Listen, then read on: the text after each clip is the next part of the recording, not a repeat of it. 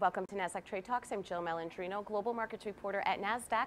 Joining me at the MarketSite, we have Dawn Song. She is the founder of Oasis Labs and a professor in the Department of Electrical Engineering and Computer Science at UC Berkeley. She's also the co-director of Blockchain and Web3, also at UC Berkeley. She's been recognized for her contributions in computer security through numerous prestigious awards, and she is ranked the most cited scholar in computer security. Today we will learn more about Oasis Labs, the privacy-first cloud computing platform, and Oasis Network, the leading privacy-enabled and scalable layer one blockchain network. Dawn joins me from SmartCon 2022 taking place in New York City, which brings together industry luminaries from Web 2 and Web 3, including top thought leaders, researchers, builders, and more. Dawn, it's great to have you with us at MarketSite. Welcome to Trade Talks. Great, thanks for having me here. Let's talk about Oasis Labs. What makes your company unique? Uh, great.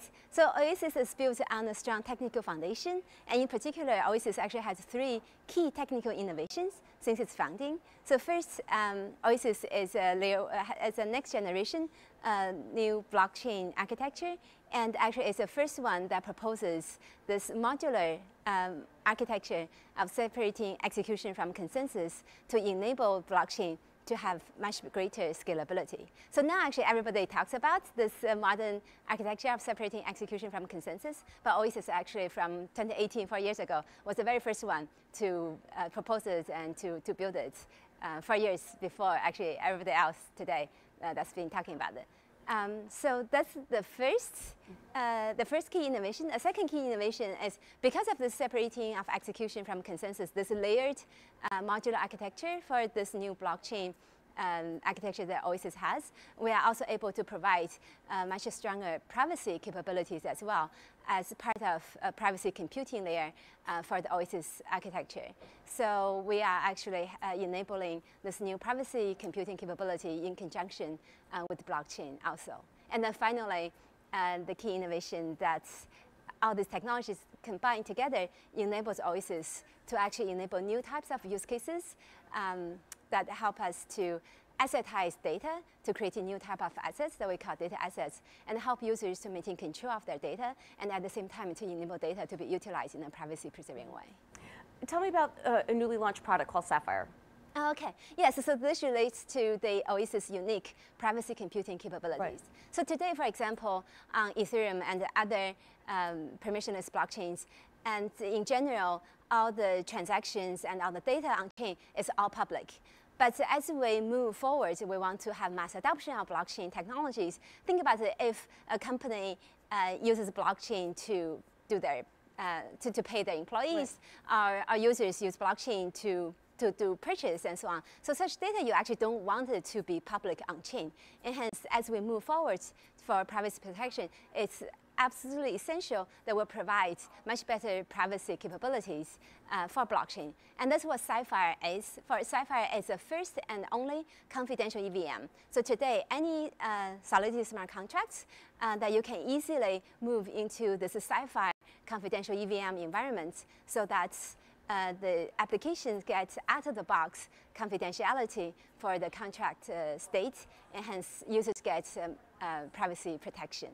Tell me about some of the recent work that your team has been doing with Meta, the company formerly known as Facebook. Yes, we are really excited about that project. Uh, so we are the uh, a technology partner with Meta in this case to help uh, launch a first of its kind uh, privacy preserving AI model fairness assessments in the real world. So this has been rolled out to Instagram users. So Oasis developed these privacy technologies to enable this actually to become a reality. What do you see as the biggest opportunities in the blockchain space right now? Uh, that's a very good question. So I think definitely, as I mentioned, privacy is absolutely missing and it's absolutely essential. So um, with Oasis new technology of Sapphire, this confidential EVM, we really hope that this can be a game changer uh, for that. What does the future and the roadmap look like for Oasis? So Oasis will continue to push forward uh, in our development uh, so Sapphire, as I mentioned, I think, uh, again, this is a real game changer. And actually, for anyone who is using uh, who, uh, Solidity smart contracts, using uh, these applications, there's actually, there's no reason, there's no downside for using Sapphire. There's only upside to provide stronger security and stronger privacy protection and with automatic uh, MEV protection. So there's no front running for users' transactions as well.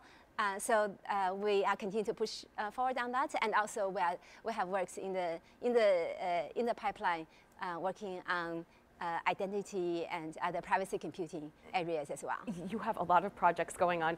To wrap up here, let's talk about Chainlink SmartCon. What are some of the topics that you're expecting? What are some of the key themes that you're going to hear from the event this week? Yes, I think the event uh, is really, really exciting. Actually, tomorrow morning I'll be giving a talk on, uh, on decentralized identity and data sovereignty. So I look forward uh, right, to joining the conference then as well. Okay, Dawn, we appreciate you joining us at MarketSite. Thank you so much, and thanks for joining me. I'm Jill Malandrino, Global Markets Reporter at NASDAQ.